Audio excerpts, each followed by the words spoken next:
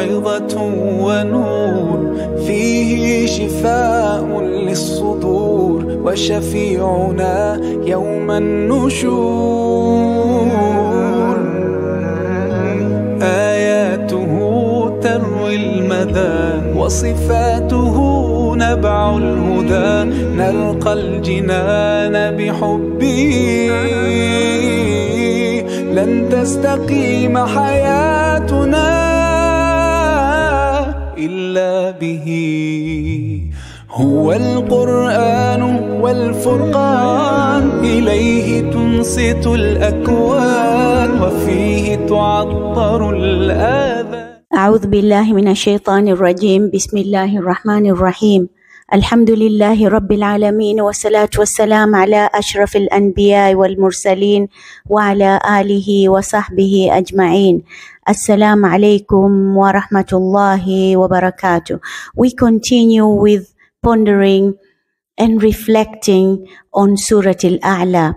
In this part 8 of this surah, we take ayah number 14 and 15.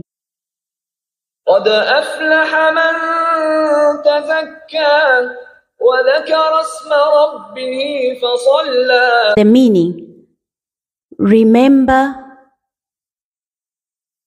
the meaning of these two ayah.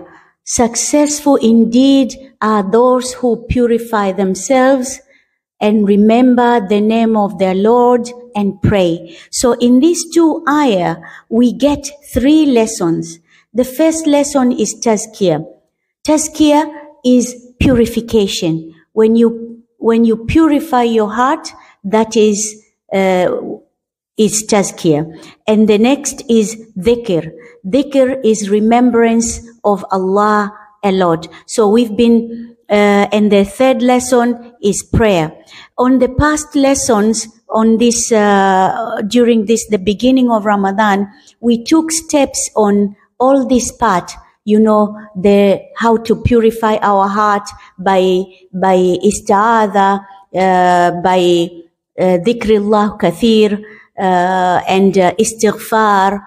All this was the preparation to make our heart ready to accept the guidance of Allah subhanahu wa ta'ala. So we see before, uh, the lesson before, it says only those who are, uh, uh, ca- who are aware and who are, who have fear of Allah, those who have, uh, who have, uh, uh, who have khashya, which is fear of Allah subhanahu wa ta'ala, they will remember, they will receive the admonition. And now we see who will be able to be successful. The successful who can accept the guidance are those who purify purify themselves. So we took the parts of purification by uh, uh, by uh, adhkar, by um, um, repentance. So we should remember that that is the only way when we have pure heart, our hearts are clean, we are able to receive the good thing about Allah. And we need to work on cleaning our, our heart. And after that, we, we remember Allah a lot by dhikr. And then also, uh, we glorify the name of, of Allah, you know, in prayer. Because the only connection we have between us and Allah is the prayer. When we want to speak with Allah, we go to prayer. When we want to hear the voice of Allah, we read Quran. We listen to other people who are knowledgeable. We hear what Allah has instructed us. But we cannot receive even whatever we read in the Quran and the guidance from Allah if our heart are not ready, are not clean. And we see that uh, uh, our heart need constant purification. It's not something you do and it will remain clean forever. Like we take shower, some people twice a day, some people three times a day. Same thing. We need to work on cleaning our heart and maintaining the cleanliness of our heart so that we can receive and be successful because the successful indeed are those who purify themselves and remember the name of their Lord and pray.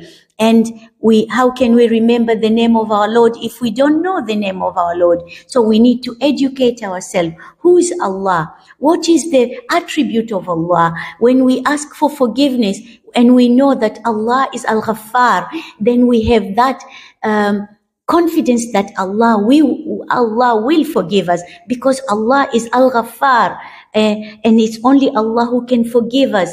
And Allah is Kareem. So when we ask Allah, we know Allah will answer our prayer because Allah is Kareem. So, and He is kind, you know, Ar-Rahman Ar-Rahim. So all this only we can benefit if we purify ourselves.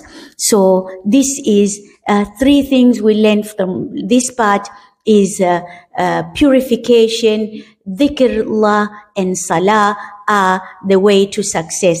سبحانك اللهم وبحمدك نشهد أن لا إله إلا أنت نستغفرك ونتوب إليك